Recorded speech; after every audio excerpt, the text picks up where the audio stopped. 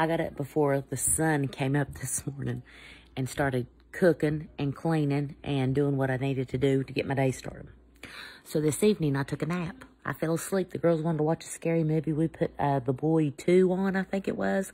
Within two seconds, I fell asleep with a salad on my chest. I was going to eat it, but I woke up to my cat, Petey Cat, sitting on my chest eating my salad. I was like, you the weirdest cat I ever seen. He eats corn on the cob, too. He's weird. My cats are weird. Try to give them a piece of sliced turkey, and they're just like, nah. You fall asleep with a salad on your chest, and they go ham on it. Any, anyway, it's well after midnight. I'm wide awake. I'm just sitting here looking around, but all my kids are up. My husband's up. They're all in the basement playing Fortnite. And I cannot handle the noise coming from the basement. Can you hear him down there? You don't need two scars. Give Sissy one.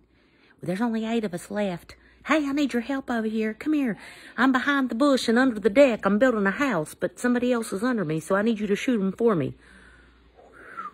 That Fortnite is serious. It's very serious. And I don't get into it. I don't get into video games, sadly.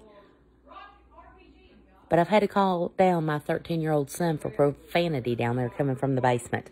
And what's sad is his father is sitting right next to him playing the same game. What is it with dads and their teenage sons? It's like they, they find enjoyment. They're proud of the moments when their son spews out a profanity. And then mom's upstairs yelling downstairs, watch your mouth, shut it off. I'm about ready to turn that Wi-Fi box off. Is what I'm about ready to do.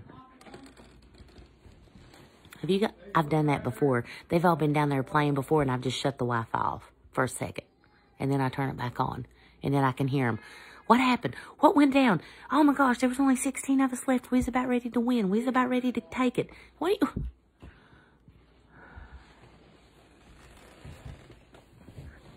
I'm just a Fortnite mom that had a nap today trying to survive. I slept in these pajamas last night and I still have them on. I cleaned house all day in them. Do you guys ever have days like that?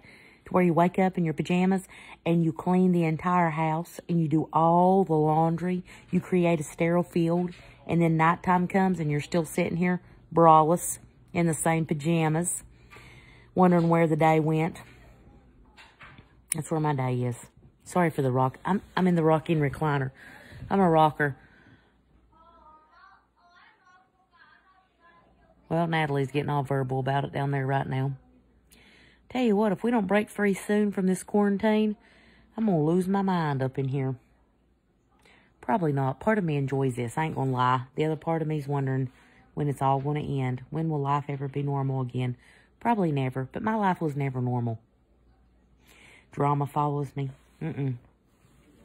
I'm done. I'm done. That's the way it is. That's life.